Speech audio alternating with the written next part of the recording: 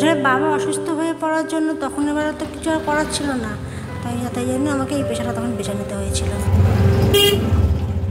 মহিলা উবার ড্রাইভারের সঙ্গে আপনাদের পরিচয় আছে। কিন্তু দক্ষিণ কলকাতায় যাদের বাস বা নিয়মিত যাতায়াত, তারা টলিগঞ্জ ফাঁড়ি থেকে তারাতলা রুটে কখনো এর অটোয় সওয়ার হয়েছেন কি? আজকের দিনে দাঁড়িয়েও কোনো পরিবারে কন্যা সন্তান হলে সব পরিবারে বলছি না, বেশ কিছু পরিবার এমনও আছেন যাদের কন্যা সন্তান হলে মুখ ভার হয়ে যায়। কিন্তু যে পরিবারে তন্দ্রা সাধুকার মতো কন্যা সন্তানরা জন্মান, তাদের বোধহয় চিন্তা নয়, গর্ব বেড়ে যায় কয়েক গুণ। আজ সেই কলকাতার প্রথম মহিলা অটো চালক তন্দ্রা সাধুকার সফর সঙ্গী হচ্ছে এই সময় ডিজিটাল।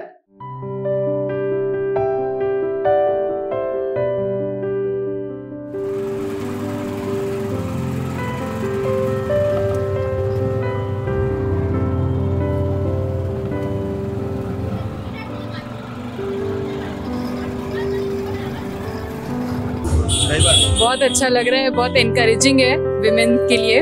और मैं चाहूँगी कि और भी ऐसे देखने को मिले, और भी जगह पे फीमेल्स अपने आप को पावरफुल महसूस करें और ऑटो ड्राइविंग करें।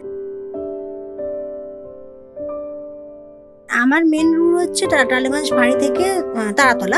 কিন্তু আমার যদি কোনো কোনো প্যাশন মানে আমার আশপাশে তো অনেকে লোক থাকে তারা তারা- যেখানে যেখানে বলে, ধরুন যাদবপুর বলল, বা কেউ যদি বলল আমাকে গড়িয়া গড়িয়া যাব, বা যেখানে যেখানে বলে, আমি সেখানে সেখানেও নিয়ে যাই। মানে যেখানে যে যেখানে বলে সেখানে এ করি না। বা কেউ বলল, আমি হাইরা যাব, আমি সর্বটাই যাই। মানে ওরা হচ্ছে কন্ট্যাক্ট কন্ট্যাক্ট ভিত্তিতে। কিন্তু মেন মেন হচ্ছে আমার টালিগঞ্জ ফাঁড়ি থেকে তারাতলা। তন্দ্রার অটোর রূপ তো শুনলেন। তার রোজ নামচার কিছুটা আভাসও পেলেন। কিন্তু পুরুষ শাসিত এই ডেরায় গেট ক্র্যাশ করলেন কীভাবে তন্দ্রা এবং কেন? শুনে নেব তার মুখ থেকেই। আসলে বাবা অসুস্থ হয়ে পড়ার জন্য তখন আমার তো কিছু আর করার ছিল না। তাই তাই জন্য আমাকে এই পেশাটা তখন বেছে নিতে হয়েছিল। আমি দাঁড়িয়ে যাই, দাঁড়িয়ে গিয়ে বাস বা অটো যে যেতে যাই তাকে ছেড়ে দিই। তারপর আমি আমিও যাই না, আমার বাবা বারণ করে দিয়েছে, যে যেতে চাইবে সাইড দিয়ে ছেড়ে দিবি, তারপরে যাবি।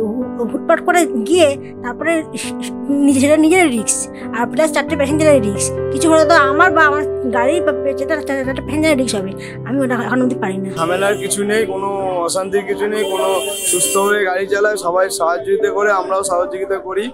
এমনি কোনো অসুবিধা নেই কোনো দিক দিয়ে কোনো রকম অসুবিধা নেই।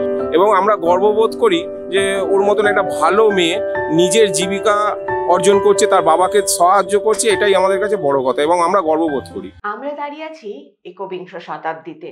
কিন্তু আজও দেশ রাজ্যের বিভিন্ন কোণে মহিলাদের সঙ্গে নানা অত্যাচারের নানা বৈষম্যের কথা কানে আসে চোখের সামনে ভেসে ওঠে।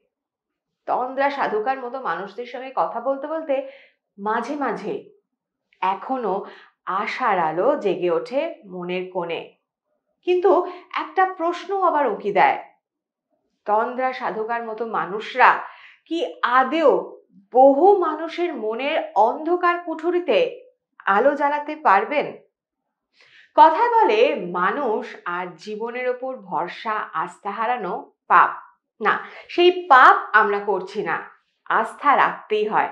না হলে জীবনে বোধহয় এগিয়ে চলা যায় না। আস্থা হারালে বৈষম্যের বিরুদ্ধে রুখে দাঁড়ানো যায় না। কঠিন সময় পেরিয়ে যাওয়া যায় না। আস্থা আমাদেরও থাকছে। আপনাদেরও আস্থা থাকুক এই সময় ডিজিটালে। কারণ লেটেস্ট খবরের আপডেট আপনারা এখানেই পাবেন। আর সেই সঙ্গে তন্দ্রা সাধুকার মতো এমনই নানা মানুষের জীবন কাহিনী ফুটিয়ে তুলব পর্দায়। সঙ্গে থাকুন, নজরে রাখুন এই সময় ডিজিটাল